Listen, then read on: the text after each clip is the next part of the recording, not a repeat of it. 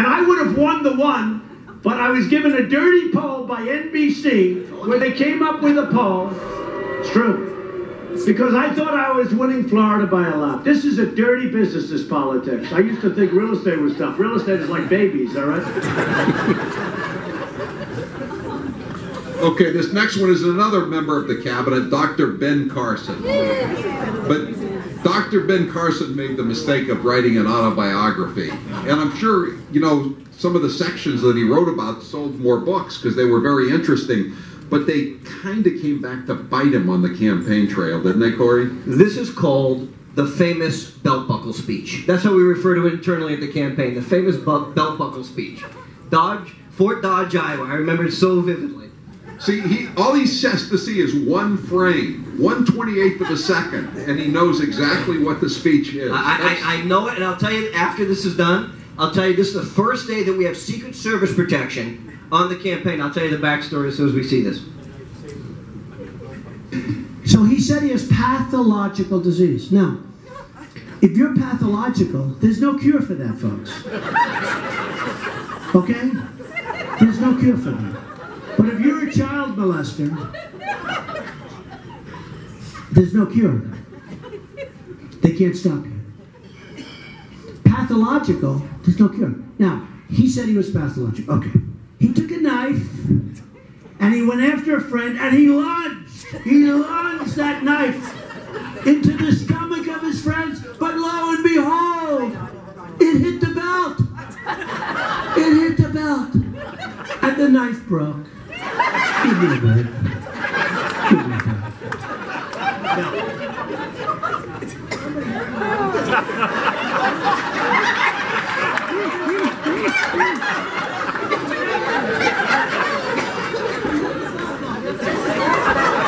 stupid are the people of Iowa? How stupid are the people of the country to believe this crap? So here's the good news. He's now saying all of that stuff happened because otherwise he's a liar. So Carson, oh, the knife broke. There it is. Come on. So what he's saying is that these series of events, and he goes into the bathroom for a couple of hours, and he comes out, and now he's religious. Give me a break. Give me a break. It doesn't happen that way. It doesn't happen that way. And some people might not like it. Oh, that's not really nice what you say. Don't be fools. Don't be fools. What the hell have we come to? What have we come to?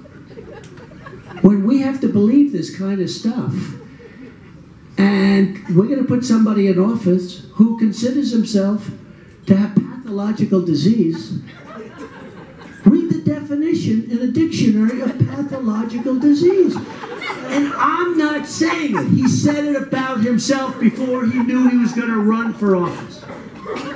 Corey, what do you, that, that, that guy, the redheaded guy with the beard uh, off to his right, he, he looks very nervous, you know? I mean, he probably got briefed like saying, don't don't crack up or anything. So, so this is amazing. This is this is literally the first day we have the privilege of having uh, U.S. Secret Service protection. So we get assigned this uh, detail leader, whose name is Mark Haberstadt. He's a very serious guy. He's in charge of the detail for the nominee, the, the candidate at the time. And Mr. Trump loves feedback. So we get in the vehicle, and there's four of us that always ride in the car. So Mr. Trump sits behind the passenger side. Keith Schiller, who you saw throw Jorge Ramos out, sits behind the driver. Then I sit in the back, and Hope Hicks sits behind the candidate. And uh, we're, we're leaving this particular event, and Mr. Trump says to the detail leader who's in the front passenger seat, Hey, Mark, what'd you think of my speech tonight? He said, Very good, sir. And he says, um, Any recommendations, suggestions, anything? Uh, just one, sir. Uh, well, Mark, what is it? Right? And I'm like, Who the fuck is this guy talking? Just drive this in the car. And he goes, Sir, please don't encourage people to come up and stab you. I have to shoot them. During this speech, he looks there's like a 90 year old guy, no, no disrespect, of course, and he says, Hey, come on up and try and stab my belt.